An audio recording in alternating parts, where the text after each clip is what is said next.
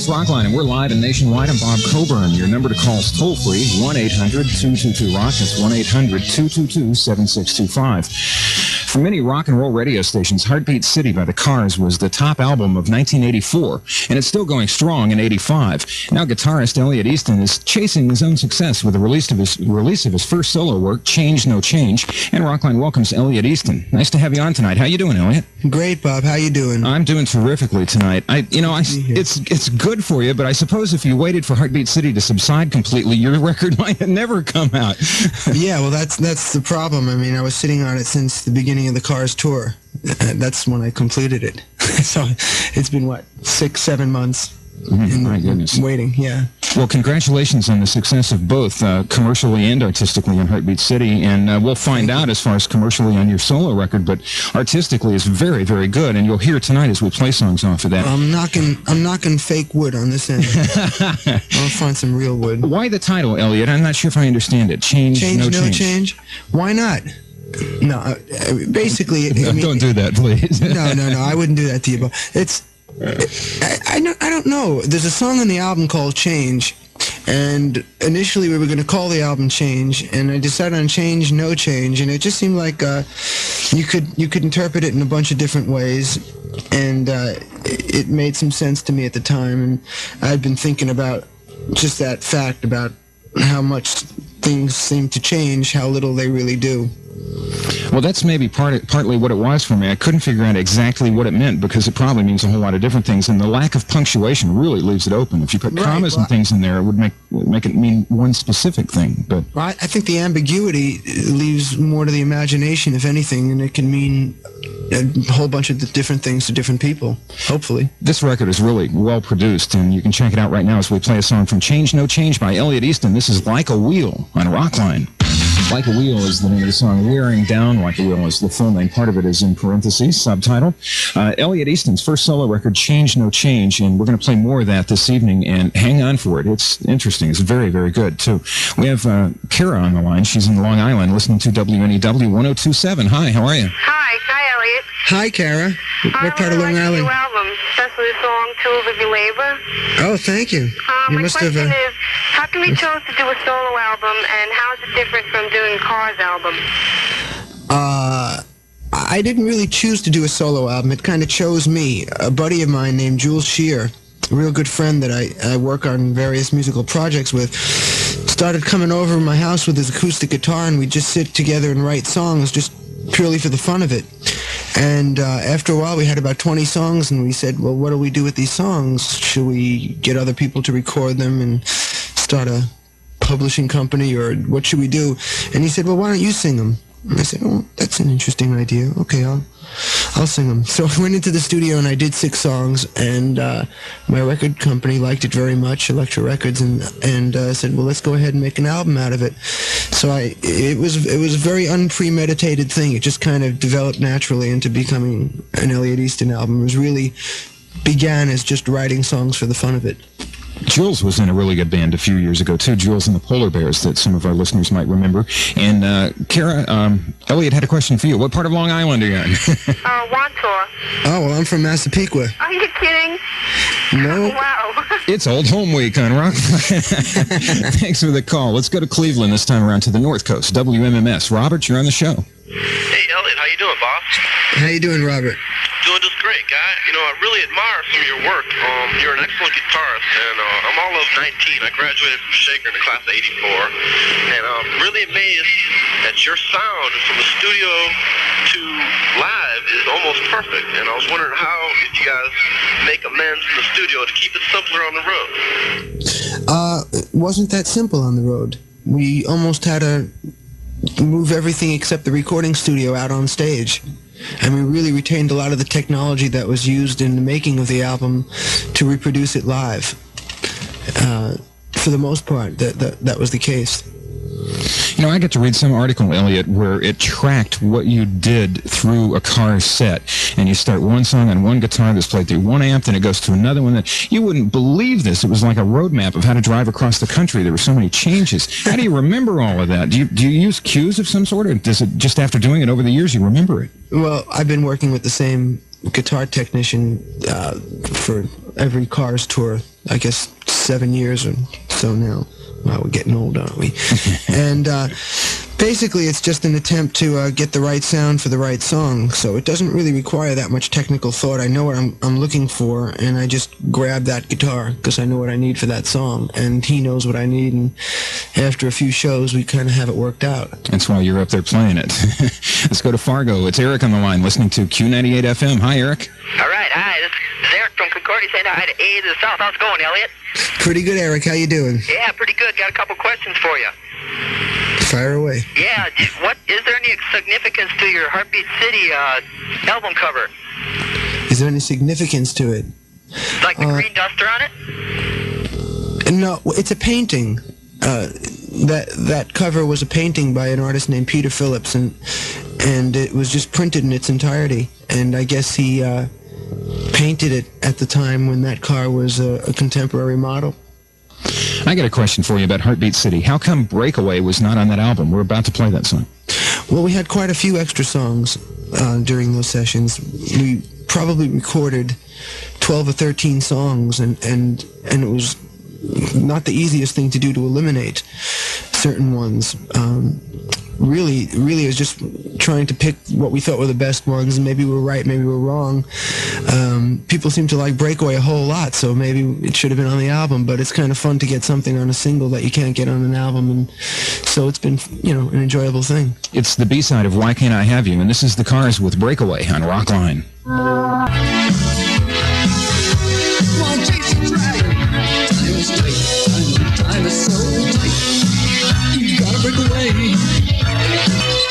That's Breakaway by the Cars, and again, it is not on Heartbeat City. It's the B-side of Why Can't I Have You. We'll take a brief time out and return with Elliot Easton and more of his solo work on Rockline and the Global Satellite Network. Call us toll free 1-800-222-ROCK.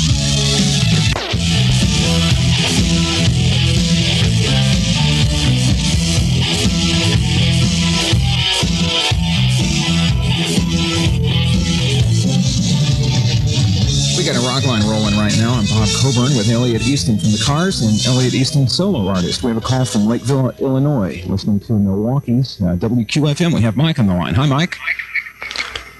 Hello, Mike. Yeah. Are you there? Um, I just seen your concert um, this summer at uh, Poplar Creek in Chicago. Right, It was right. great. I got a couple questions for you. Well, Um, let's hear them. I'd like to uh, I'd like to know who's in your band for your solo album. I just heard the song and it sounds really great. Oh, thank you. Well, it'll be different musicians touring than than played on the album. Uh, I, do you want to know who will be touring with me? Yeah, I do. Yeah, sure. Because you can easily find out who's on the album by just looking on the back. So I'll tell you who will most likely be touring with me. Um, a few people you might have seen with David Bowie and, and a few other people. I'll, I'll be sharing the uh, guitar duties with Earl Slick. Woohoo. And, uh, yeah. And uh, Carmine Rojas will be playing bass, and Alan Childs will be playing drums, and keyboard players to be announced at more at 11. we don't know yet. We're not sure who the keyboard players are, but we got together a couple of weeks ago uh, uh, here in New York uh, at a rehearsal soundstage and played together just to see how we liked it, and it felt great. It felt great. So we're gonna. I think I'm gonna use those guys. When's the tour start? Just a rough date. Hopefully uh, in, in May. Uh, I can't wait to see it. Does that take care of everything with you, Mike? Uh, yeah, can you just uh, say hi to my friend Dan? He's probably listening too. How you doing, Dan? Thanks for the call, Mike. And Dan, from Fort Worth, we have Christy on the line. She's listening to the zoo in Dallas. Hi, Christy. Hi, um, Elliot. I'd like to say I love you so much, and you're the greatest. Oh, you're and sweet. um, I'd like to ask, how come that you've never sang lead on any of the Cars albums? And I'd like to ask when your birthday is. Um, okay, why didn't I ever sing lead on any of the Cars records? We were just talking about that before we were on the air. Basically, there's no real policy reason. It's just that we have two strong lead singers within the band, and uh, you know, being being things the way they are, the band has a very strong identity and a certain chemistry to it. And uh, the Cars are what they are by the people fulfilling the roles that they do. And in the cars, I play guitar and do background vocals. And uh, on my stuff, I sing. And as far as my birthday, it's December 18th. Thanks, Christy. We appreciate it. We're going to talk to Frank now. He's in Pittsburgh and he's listening to WDVE and he's talking with Elliot. Hi, Frank. How you doing? Hello, Frank. Uh, I want to know. Um, in your song "Pulls Your Labor" off your uh, your solo LP, you talk about uh, the, the one of the lyrics. Four, he lived with four girls in a garage up in Shadyside. I want to know if you were referring to Shadyside in Pittsburgh, maybe if you lived there or something like that. Uh, you hit the nail on the head there, buddy, but I never lived there. Really, but that's what it's about. You got the right neighborhood. I'll be darned. Good shot there, Frank. That one stuck on the Excellent wall. shot. Excellent shot. We're going to listen to Tools of Your Labor now on Rockline on the Global Satellite Network. Tools of Your Labor by Elliot Easton on Rockline on the Global Satellite Network. We'll go right back to the telephones. We have a call from Van Nuys, California. It's Jim, and he's listening to 95.5 KLOS. How's it going, Jim? Pretty good. How about you, Pretty good. Hello, Jim. Elliot? Hi. How you doing? Pretty good. Okay, when you go out on tour, I was wondering if uh, you would be playing any of the uh, Cars material. Uh, no, I don't think so. No, I won't be. that's not. That's not a. That's not a, a, a gesture of hostility. It's just a. I don't sing lead on any of the Cars tunes, so it'd be a bit awkward, wouldn't it? Yeah, you got a point there. Thanks for the call, Jim. We have a call now from Atco, New Jersey. It's John. He's listening to Philadelphia's YSP. You're on, John. Yeah, hello, Elliot. Hello there. How you doing? I'm the Cars' biggest fan, probably, and, you know, and I seen you in concert in Philadelphia, July 16th. Yeah, oh, great. Yeah, with the volleyball or beach ball, you call on stage. Yeah, that's right. and You were the you were the you were the guy, huh? yeah, no, that was me. I was up a little bit hot, higher. But Okay. anyway, will you be making any videos? Yes, in fact, I just did one for uh, the first single, "Wearing Down Like a Wheel," and it should be on your screen any day now, probably within a week. Anything else on your mind tonight, Jen? No. All the right. Peter Wolf album was pretty good. Yeah, neat, neat guitar on that. That, that was pretty Pardon me? I'm sorry. You said the Peter Wolf album was good, and you did some Oh. guitar work on that. Oh, thank you very much. And that was, Pete was great to work with. does that cover it, John? Uh, apparently so. I'm trying to give him every benefit of the doubt here. We're going to take a call from uh, Atlanta, and this is Perrin. He's listening to 96 Rock. How you doing? Hi. Hello. Happy Valentine's Day. Oh, thank you. Same to you. Um, I have a couple of questions for you. Um, number one, um, did any of the cars help you out with the uh, album? And number two, why didn't y'all come to Atlanta? Uh, to answer your first question, uh, for the for the sole purpose of, of making a record that was going to be different than a Cars record, I didn't uh, didn't use the other guys. There were times I would have loved to, but I chose to use other musicians specifically so that it would sound different. Uh, reason that we didn't come to Atlanta is we had a scheduling problem and our whole southeast leg of our tour got amputated. So unfortunately, we didn't play Florida or Atlanta, and uh, sorry about that. But I'll come down there and play for you. Okay? I'm chuckling at how you put that. Was there any specific reason why the tour got cut short? Uh, God, not not not a not a very not really. No, it's just a matter of logistics and all those silly things that I don't concern myself with. you know, Elliot, you handle the vocals surprisingly well. And I say surprisingly because I've heard you as a background vocalist, but not as a lead vocalist. Did you ever consider bringing in a singer to work with you on the album? Uh, no, I didn't. Uh, the, the plan from the beginning was that I would I would be singing the songs and and Jules would be doing the background harmonies, and that's precisely the way it worked out. And it worked out pretty well. We'll have another result of how it worked out after a brief time out on Rockline. Some more rock and roll from Elliot Easton Solo coming your way, and some more telephone time with Elliot on Rockline on the Global Satellite Network.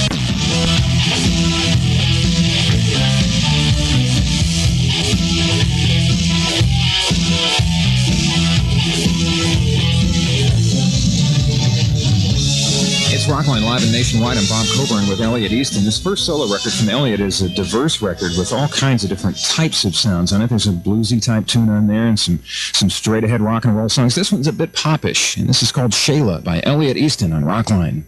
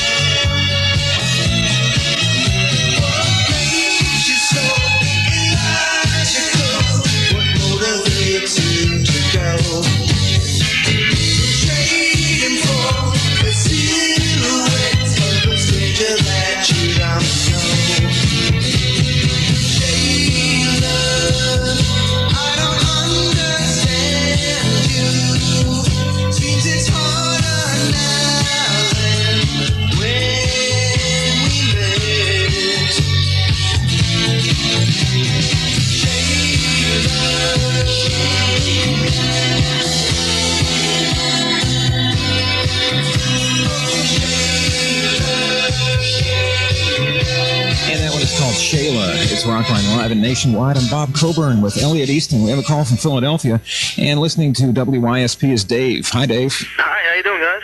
Good. Hello, Dave. Okay, um, I'm a fellow guitarist, of course, isn't everybody? And uh, I was wondering, Let's hope not. I was wondering, uh, who were your influences? Who made you start playing guitar?